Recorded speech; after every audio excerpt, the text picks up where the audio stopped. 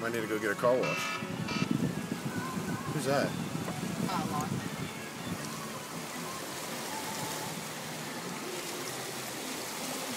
Holy shit.